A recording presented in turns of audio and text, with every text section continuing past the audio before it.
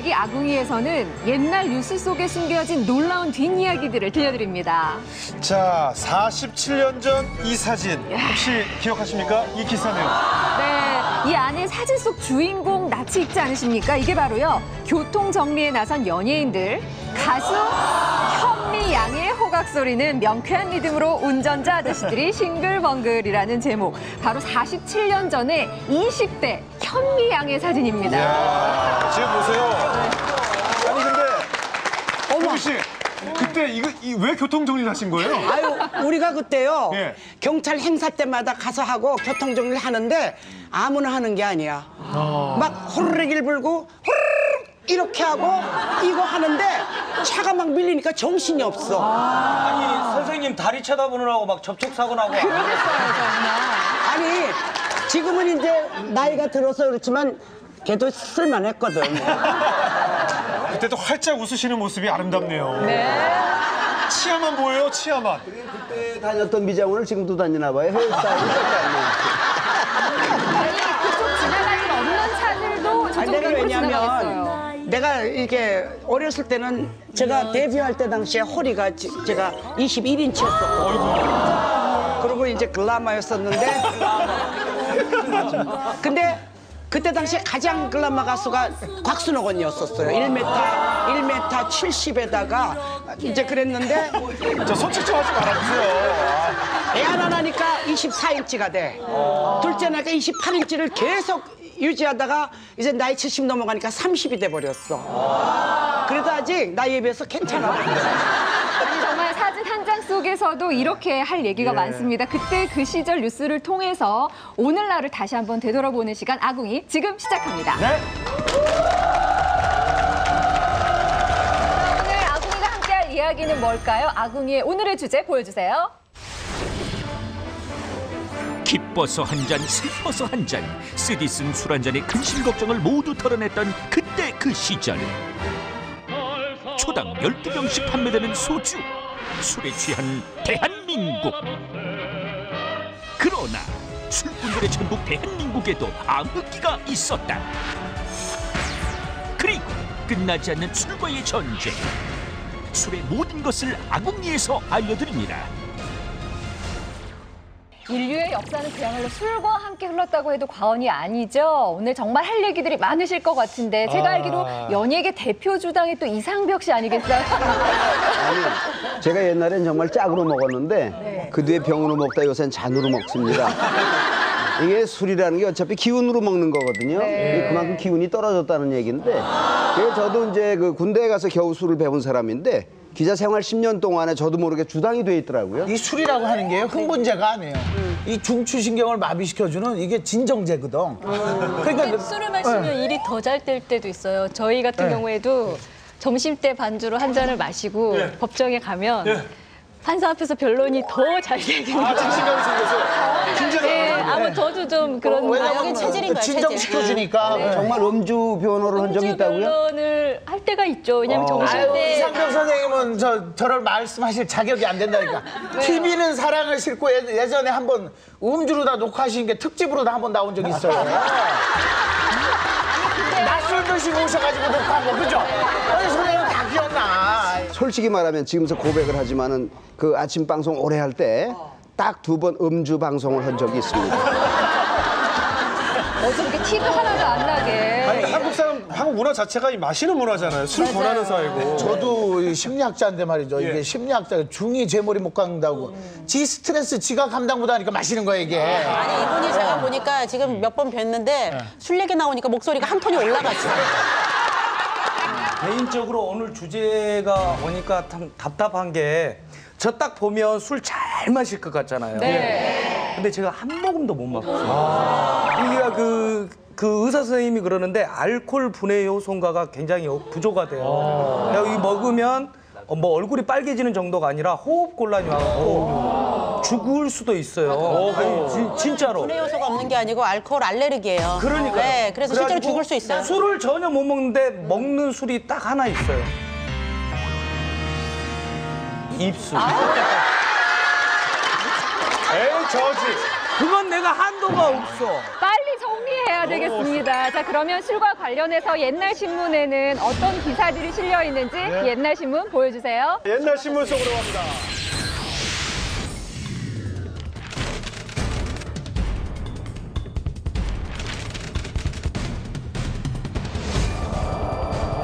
기사들이 옛날 신문 속에 들어 있습니다. 제가 하나하나 소개해 드릴게요. 먼저 불법 영업 기습 단속. 심야 퇴폐 영업, 영업, 영업 1,587골 술 드셨어요? 한정도를 한잔 하고 시작해야 돼요. 아니 다들 드시는 분이 이해해 주세요. 괜찮아요. 갖다 주세요. 마시고 마시고 시작해야 될 것 같아요. 1990년에 그 유흥업소 심야 단속 기간이 있었습니다. 예. 제한 조치가 실시가 됐는데 어, 불법 영업하는 곳을 1,587곳을 이야, 적발했다는 그런. 기사가 있었고요. 네. 근데 이상국 씨 그때 90년대 왜 심야 영업을 못하게 한 건가요? 그때는 무슨 그 전쟁으로 이렇게 그 이어지는 신종 단어들이 유행할 때 무슨 마약과의 전쟁 뭐 일, 일. 그 이제 우리 국내에서는 이제 술과의 전쟁을 선포한 겁니다. 그러니까 너무 많은 술을 먹으니까 여- 가정 내에도 문제가 있고 직장 이 업무적으로도 문제가 있다. 차제에 일정 시간 이후에는 술을 못 먹는 걸로 하자. 그래서 그 아내들한테 크게 호응을 얻었던 노태우 정부 때 이런 조치가 있었던 것으로 기억이 됩니다. 근데 그때들 다들 그래도 밤에 드셨죠? 다들 드셨을 거 아니에요? 어떻게들 드셨습니까 그때? 아 이제 커튼 쳐는 집이 또 있어요 또. 12시에 저 때가 이제 제가 대학원 다닐 때인데 커튼 쳐는 집 가면은 아유 불빛이 하나도 안 새나. 근데 그, 그 안에 들어가면 또 어디는 지하로 들어가서 철문 열고 들어가는 데도 있고. 아유 뭐 저렇게 단속한다고 안 마셔요. 다 마시지. 김학수 씨는 몰래 그럼 드셔보신 적 있으세요? 저 기간에? 어, 당연히 먹죠. 어떻게 드셨어요? 어떻게 드셨습니까? 아, 일단은 저는 지금 전시인이어서 그렇지 옛날에는 막 씻은다고 그런 사람이었어요. 그래서 인사동 가면 지하에 가만히집이라고 인사동에 아주 지금처럼 공사하기 전이어서 후실건한데 거기 밤새들 술 마시는데 그냥 그러려냐고 좀 봐주는 분위기가 있었고요. 그게 또 잘 안 되면 다들 비닐로 봉다리, 비닐 봉지에다가 싸들고 여관을 들어가죠. 그냥 이런 분들이 이렇게 시인이나 이렇게 문화평론가 하시는 분들이 이렇게 낭만이 좀 많잖아요.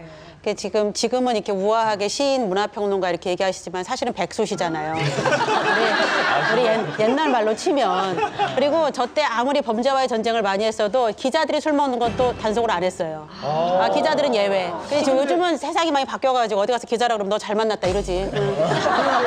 이 심야에 심야 영업 정지를 내리게 되면 가장 피해를 보는 사람들이 연예인일 것 같아요. 제가 그거 말씀을 좀 드릴게요. 네. 네. 저희가 참 운도 없는 게 저는 막 데뷔를 해가지고 연예인들이 그때는 방송 출연료는 얼마 많지가 않으니까 야간업소 출연을 많이 그렇죠. 하는데 저희가 야간업소 막 출연하니까 저렇게 시간 제한을 줘버리는 거예요. 네 4시까지 일을 하면은 보통 뭐 여덟 군데 아홉 군데를 했는데 막 밤업소 시작을 하니까 12시까지 하니까 세개네개밖에 안 돼요. 지금 양원경 씨 말 맞다나 우리 같은 이제 좀 이름 있는 가수는 괜찮은데 무명 가수들이 전부 생활권이 그 야간업소에 있었거든요. 그래 차도 이제 한 달에 얼마씩 빌려가지고 열 군데씩 막 조금씩 받아가지고 생활했는데 지금은 야간업소가 다 이제 그 단속 이후에 없어졌잖아요. 그래서 저는 그래요. 그 야간업소라는 것이 꼭 필요하다고 생각하거든요. 근데 그게 너무 죽어버렸어요. 그러니까 기사들이 하시는 말씀이 불경기 불경기가 거기에서부터 종업원이다 택시기사다 또 술을 파는 사람이나 다 모든 연줄 연줄 그런 불경기가 왔다는 거죠. 그러니까 어느 정도는 좀 풀어줘야 된다 이거죠. 저술 얘기 하니까 예, 나도 말씀, 말씀. 한마디 안 할 수가 없어서 참다 참다 하겠는데 문제는 12시 그냥 마음대로 후리로 놔뒀을 때보다 훨씬 더 먹게 되더라고요. 아, 그래요? 예. 왜냐하면 그것도 술 맛이 12시 그 즈음에서 제일, 제일 맛있죠? 나. 맞아요, 맞아요. 아, 맞아요. 거기 제일 맛있어요. 이거는 아무리 의지가 강해도 그 술잔을 놓고 그냥 못 나가거든. 그러려면 이제 문을 닫아요 거기. 문을 닫다 보면 이제 그 연극제에 돈이 없지 않습니까? 그럼 이제 그 이제 안주는 오직 양배추 탁탁탁 쓸어 놓고 무제한 리필이고 술값만 받는 데인데 술값이 딱 떨어지잖아요. 네. 그러면 그 당시에 이제 그 우리 술 먹을 땐 또 그 여학생들이 교복 입고 끔을 발로 다녔다고. 그러면 결국은 할수 없이 걔한테 돈 좀 구워가지고 다음에 가- 하는 아이한테. 그래서 술값을 내고 새벽에 나온 적도 한두 번. 야, 윤문식 선생님 얘기 들으니까 연극판 가난한 거 떠오르는데 저처럼 조촐하지 않은 유명한 김갑수 따로 있죠 배우. 네, 알아요. 어 그분하고 어느 신문사에서 대담하라고 그래서 하루 종일 얘기를 나눈 적이 있는데 그렇게 먹고 살기 힘들었대 연극 배우를 하는데. 잘 데가 없는데 그 극단 있는 이제 데서 잤는데 자는 거는 옥상에서 맨 땅에서 그냥 비닐을 킹 넣고 잤는데 맞았습니다. 뭔가 먹을 수 있는 데가 화장실밖에 없었대요. 그 공간에서. 그래서 거기 동료랑 같이 화장실에서 쭈그리고 밥 먹는지 술 먹는지 그러고 살았다는 얘기를 제가 들었어요. 그 얘기를 얻게 저는 같은, 화장실에서 술 예, 마시고 같은 살았대. 극단에 있었는데요. 연극제들은 과 대개 보면은 그 스폰서가 있을 때 술을 먹거든요. 그러면 이제 그러면 고기라도 이렇게 이렇게 굽게 되잖아요. 그러면 뭐 연극이 어쩌고 얘기하다 보면 고기가 없어지니까 저 나무 젓가락으로 요걸 또 눌러놓고 얘기하는. 그래서 말이야. 저, 예, 저도 그 내가 여기서 실 저 그 이름을 대서 안 되겠습니다. 최주봉이라는 배우가 있는데 걔는 상추 속에 감춰놓고 막 그렇게 그렇게 가난했어요. 사실. 최창호 씨도 술 많이 드셨죠? 아, 저도 술을 많이 먹었죠. 뭐 지금도 뭐 술은 좋아하는데 저는 담배는 끊었는데 술은 담배는 개인 사업인데 술은 이게 사회적 사업이잖아요. 목숨도 끊어. 사회적 사업이잖아. 목숨도 끊어. 그런 거. 근데 왜 껌파리 소녀한테 이게 돈을 껐다 그랬잖아요. 저는 이제 흑석동에도 개미집이라고 있어가지고 그 친구도 껌파리 소녀인데 아니 남자예요. 그랬더니 막 비가 오니까 우리가 몰래 먹는 술집에 와가지고 이제 새벽까지 같이 있는 거예요. 그래서 새벽 4시에 얘가 형 그러는 거예요 저한테. 그랬더니 어디 사느냐고 하더니 뭐 나 저 어디 후암동 살 때인데 영등포를 같이 가재요. 자기가 맛있는 걸 사주겠다고. 껌파리 소녀요? 새벽 그래 첫 차를 타고 걔를 따라갔어. 영등포까지. 근데 얘가 왜 나를 필요로 하냐면 그 사우나를 애들을 안 들여보내니까 저 같이 거길 들어가고 싶으니까 저를 데리고 간 거예요. 같이 목욕을 그래도 걔가 돈 대줬어요. 목욕을 하고 있는데 얘가 조용히 나한테 제안을 하는 거예요. 형 돈 필요하죠? 그래. 어, 필요하지. 그래. 그럼 나하고 껌파리 할래요? 그래. 야, 나 공부해야 돼. 그랬더니, 아니, 형은 뒤에만 있으면 돼요. 내가 다 할게. 그래갖고, 아, 난 껌, 껌파리 제안을 받았다니까, 제가. 단속을 하면서 신종 직업들이 생겼어요. 그게 뭐냐면 일명 호객꾼들이라고요.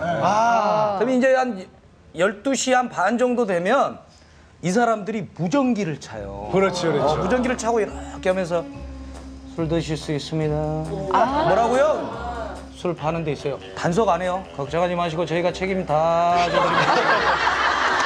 따라가면 완전히 무슨 그 영화 속의 한 장면처럼 여기서 촥 손전등이 딱 나와요. 맞아요, 맞아요. 여기 피터키로 사계 경 예, 사각 경계 딱 하고 뭐 초인종 딱 들어. 손님도 손님도 손님도 손님도 그런 상하리 같은 데 가면은 들어갈 때는 앞으로 들어가는데 나올 때는 비디오 방으로 나오고 그랬다고. 나, 어, 어, 우리가 들어간다고 비디오 방을 통해서 나오고 막 그랬어. 아니 최창호 박사께서는 정말 심야에 먹을 수 있는데 다 찾아다니신 것 같아요. 경험담이 이분이 많으신데. 그때 심리학 공부를 다 했다고 그래요. 그러니까 밤늦게 술을 마셔도 된다 안 된다를 네. 누가 결정하느냐. 근데 이게 나라에서 정할 일이냐 마냐 좀 생각해 이 얘기 또 보면 나올 줄 알았어. 왜, 왜 개인의 술 마시는 거를 나라가 통제를 하느냐. 아니 근데 거기서 한 발 더 나가 생각해 보자는 말이에요. 좀 더 발전된 형태로 얘기를 해주셔야 어, 돼요. 세 가지를 생각해 보자고. 요즘 제일 시끄러운 게 뭐냐? 담배값 2천 원 인상이에요. 그거 갖고 어떤 일이 벌어지고 있냐면 엄청나게 논, 논쟁을 해요. 옳은지 맞은지. 그걸 누가 하냐? 우리가 다 해요. 사람들이 모여서 우리 문제라고 생각해. 그러면 한참 더 거슬러 가서 70년대 장발이나 미니스커트 단속 한번 생각해 보자고요. 그거는 쥐엄한 나라의 명이기 때문에 옳으냐 그르냐가 아니라 어떻게 하면 피하지? 어떻게 하면 요령껏 하지? 이런 거예요. 옳다 그르냐를 따르, 따지는 걸 생각할 줄 몰랐던 시대가 70년대.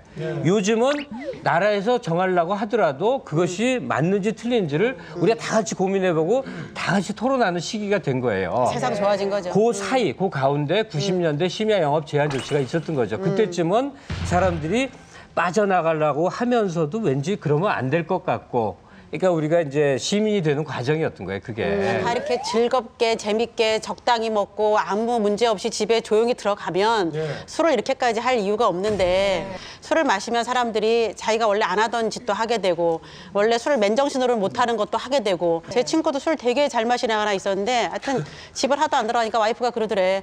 동네 창피하니까 요구르트 아줌마만 만나지 마라. 새벽 4시에 요구르트 아줌마가 돌잖아. 그 아줌마 만나면 동네 소문 다 나니까 그 아줌마만 피해서 돌아라 뭐 이런 얘기도 있었는데 남자들도 마시는 거 이거 힘들어요. 아니, 아, 물론 우리 저는 족발을 먹으면 들어갈 때 족발을 사갖고 와서 집사람하고 또 먹어요. 치킨을 먹으면 치킨을 사갖고 와서 또 먹어. 이 몸매가 괜히 나온 게 아니야. 아, 그러니까. 그리고 우리 집사람은 자고 있다 깨가지고 또 한두 시간 저하고 먹어요. 왜냐면 대화하고 그것도 재밌으니까. 근데 저 늦게 들어가는 거 가지고 뭐라고는 안 해요. 왜냐면 제가 아, 오늘 12시까지 갈게 하고 늦잖아요. 그럼 벌금을 시간당 10만 원씩 내요, 제가. 그러니까 어느 때는 어, 너무 일찍 들어왔다고 짜증내. 아, 두 시간만 더 있었으면 내 우리 뭐 사줄 수 있는데. 그래, 그래가지고 저는 그냥 나름대로 그 약속을 그렇게 좋은. 방법인데. 그게 몇 시예요? 아니 이제 그 약속을 해. 오늘 몇 시까지 온다. 어, 뭐 11시. 그런데 이제 늦을 때가 있잖아요. 오늘 뭐 회식 있는데 좀 늦을 거야 했는데 이제 12시까지 온다 해놓고 뭐 1시, 2시. 남자들 수다 끝내줘요. 최대 한계선이 몇 시인데요? 예? 최대 최대 한계는 한계선이 몇 집에만 들어가면 되죠. 집에만 들어가면 되죠. 아니 문을 잠가 버리는 거 아니야? 이렇게 부부들끼리 뭐 법적으로는 아니죠. 부부들끼리 통금을 정해놓고 하는 경우들이 많이 있잖아요. 이제 워낙 술 때문에 많이들 싸우시니까 보시면 보면은 술 때문에 많이 싸우시니까 각서로 막 이제 몇 시까지는 들어온다 뭐 여자는 몇 시까지 들어온다 나- 남자는 몇 시까지 들어온다 안 오면 아까 말씀하신 것처럼 뭐 벌금을 낸다든지 뭐 쫓겨난다든지 강현재 뭐 이렇게 변호사는 하시죠. 남편이 몇 시 정도 들어가는 것까지는 용서하세요? 아니 이게 저는 뚜렷이 기억이 합의한 기억이 없는데 저는 한 12시 정도로 정해진 것 같고 남편은 무죄하실 것 같아요. 계신 남편분들한테 제가 한 말씀 드리겠는데요. 아내가 들어오라고 그럴 때 들어가세요.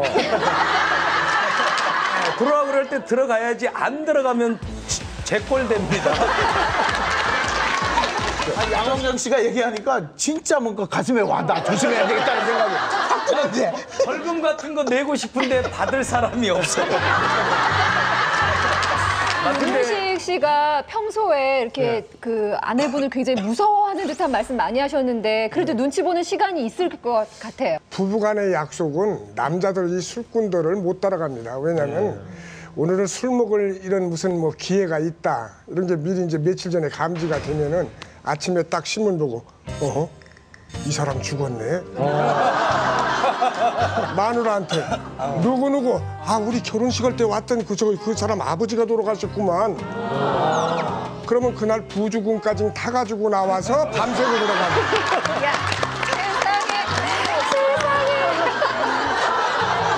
그래서 여러 번 죽은 사람 많아요. 이거, 이거 정말 잘못하면 머리를 많이 쓰시네. 아니. 어떤 거짓말들 많이 해보셨어요? 이상경 씨도 어떤 거짓말 해보셨어요? 아내한테 평소에 이제 어떻게 신뢰를 쌓느냐가 이제 관건인데 예. 우리 잘 아는 우리 하일성 씨하고는 정말 그 무명 때부터 같이 술을 마셨어요. 예, 예. 그 마셨는데 이제 어떤 트릭을 쓰느냐면 본인은 그 술김에 정말 그랬다고 그러는데 내가 볼 땐 트릭이에요. 마누라한테 신뢰를 얻- 얻기 위해서 집에 들어가서 어영부영 들어가서 이제 자다가 갑자기 일어나가지고 옷을 입는 거예요. 그럼 마누라가 왜, 왜, 왜 그러냐고. 이 여자 누구야? 나 집에 가야 돼. 그렇다. 자기는 어떤 경우라도 집에 가는 걸 원칙으로 한다는 걸 마누라한테 보여주는 거예요. 반응이 어땠을까요? 마누라 황당하지. 그래 하일성 씨가 이제 술을 근래 이제 그 이제 컨디션이 안 좋아서 별로 못 먹는데 한참 먹을 때는 그 알코올성 치매가 일찌감치 온 사람이에요. 그러니까 자기가 이제 202호에 사는데 하루는 203호에 가서 눌러요. 그러면 203호가 나와서 아유 하 선생님 아래에요. 죄송합니다. 그 다음날 그 다음날은 201호 가서 또 눌러. 201호 아줌마가 아니 위층에 죄송합니다. 이정 변호사도 술을 많이 드시잖아요. 아니 뭐 저희는 서로 이제 술 먹다가 이제 결혼까지 간 사이라서 어떻게요? 뭐 이제 워낙에 데이트하면 술을 많이 먹어가지고 서로 어느 정도 이제 허용해 주는 사이인데 예. 이게 이제는 평상시는 괜찮은데 가끔 가다가 말씀하신 것처럼 그런 날들이 있잖아요. 예. 좀 얌전히 잘 하다가 네. 저번에 한번 아침 8시에 들어왔다가 아나운서가 아침 8시까지 아니 요즘 이걸 하셨단 말이에요. 학생들이요 네. 워낙 잡아가지고 저를 선배가 이제 먼저 간다고 하니까 애들이 난리가 나더라고요. 굉장히 전통적으로 네. 우리 집에도 아나운서가 하나 있잖아요. 예. 근데 이제 방송국 안에서는 어느 부서 사람들이 술을 많이 먹을까?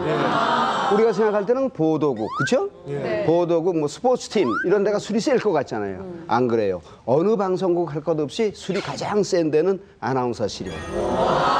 이게 이게 방송 끝나고 나면 목이 칼칼하거든요. 그건 핑계지. 자, 왜, 왜 아나운서실이 이렇게 술을 많이 먹는지는 잘 모르겠어요. 더 잘 먹는 아나운서가 이지연 아나운서예요. 아, 이지연 제가. 여의도에서 여의도에서 고깃집 하는데 고깃값 2만 원 나왔는데 소주값만 6만 원 나왔어요. 그래서 아니 내가 아니 지연아 너 뭔 술을 이렇게 먹니? 어봐 나 술을 아빠한테 배웠잖아.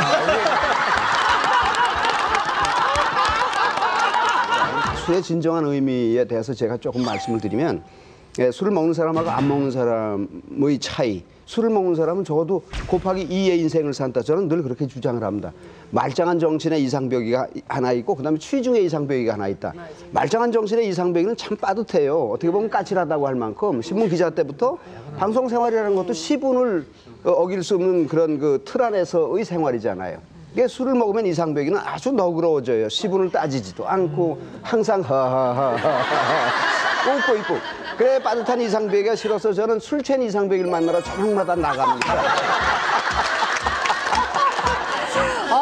재밌네요. 이게 71년도 기사입니다. 어, 명절을 앞두고 관공서에 밀린 술값 받으러 온 요정 마담들로 아주 붐볐다는 그런 기사고요. 예나 지금이나 참. 네, 아, 네. 마담들이 관공서를 이렇게 누비고 다니는 바람에 과장들이 자리를 비워서 업무를 할 수가 없었다. 결제를 못 받아서 이런 얘기도 있고요. 지금은 이제 뭐 오만 대 다니면서 이렇게 막 술을 먹지만 전에는요. 그리고 술- 진정한 술꾼은 단골 술집은 저- 정해 놓는 게 원칙입니다. 왜냐하면 아무데나 막 다니다가는 어쩌다 정말 돈이 떨어질 수도 있고 좀 술이 과해서 헛소리를 할 수도 있는데 용서가 안 돼요. 처음 간 집은.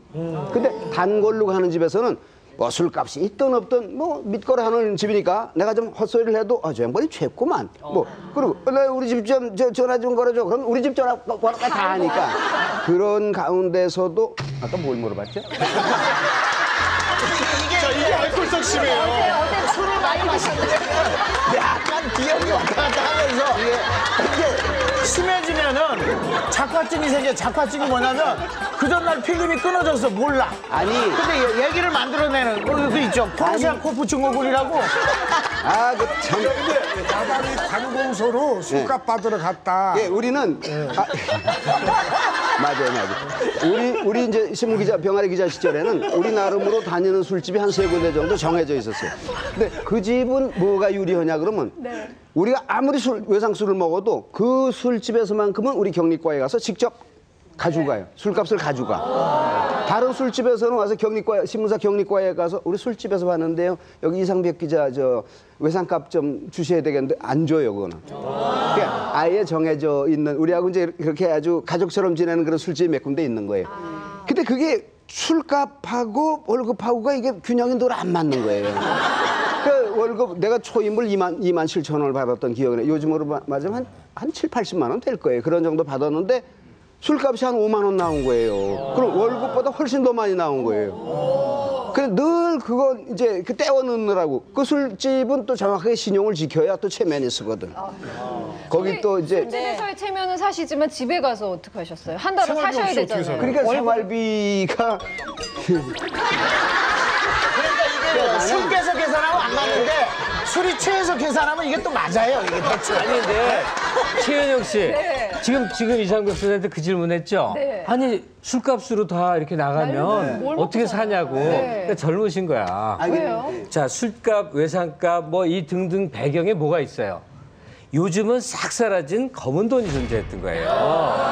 월급은 월급대로 돌아가고 아, 촌지, 뭐 촌지. 그 좋은 검은- 말로 촌지인데 검은 돈이라는 건 뇌물이고 네. 우리는 촌지, 촌지. 그러니까 한국 사회 전체가 그렇게 돌아가니까 어, 별 얘기 다 나오네요? 이거 얘기하니까 별 얘기 다 나와요. 옛날에 그 서슬퍼렇던 군사정권 시대에도 추석 때가 되면 기자들한테 청와대 이래갖고 촌지가 내려왔었어요.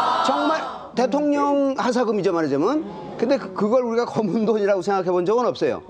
그러면 정말 그거는 봉투째 집에다 이렇게 보존을 해뒀던 그런 기억이 나요. 그게 촌지였었어요. 아니 그러니까 옛날 얘기를 이유로 하는 게 아, 그러니까 잠깐만 다- 달라져서 그런데 앉아도 되겠습니다. 예, 이상도 선생도 이분도 그러다 주제가 촌지가 되고 아니